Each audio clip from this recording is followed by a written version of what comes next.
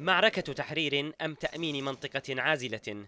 سؤال ظل يتردد كثيرا منذ بداية تحرك الجيش باتجاه المناطق الحدودية لصعدة المعقل الرئيسي لجماعة الحوثي والتي تعتبر مركز الثقل السياسي والاستراتيجي لحركة الجماعة في دعم كافة جبهات القتال معركة بدأها الجيش منذ ما يقارب العام وتحركت في مناطق عدة داخل صعدة منها علب والطريق الرابط بين محافظتي صعدة والجوف والتوغل في اتجاه كتاف وباقم مواجهات في بادئ الأمر. وجدها عسكريون أنها تأتي في سياق استنزاف وتشتيت الثقل العسكري للجماعة.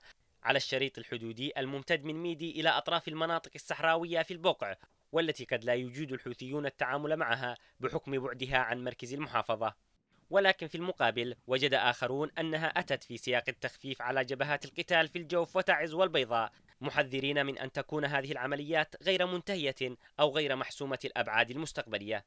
في الجديد أكد مصدر عسكري بعمليات محور علب مقتل العديد من مقاتلي تحالف الانقلاب منذ مطلع الشهر الجاري إما بغارات جوية أو مواجهات ميدانية.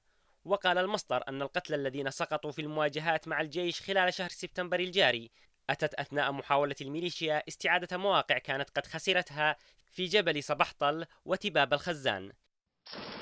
معارك عديدة يخوضها الجيش إذن في مختلف الجبهات المفتوحة والممتدة على أكثر من منطقة غير أن أبعاد المعركة في صعدة هي الأهم بالنظر إلى ما تحمله المحافظة من رمزية وأهمية لها انعكاسات عديدة على جبهات المحافظات الأخرى.